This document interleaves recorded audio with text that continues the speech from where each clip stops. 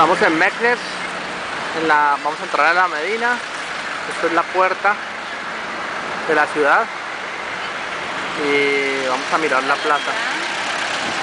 Esta es la plaza, la ciudad está supremamente bonita, pues, queda en una montaña. Esta es la zona de restaurantes y ya vamos para adentro.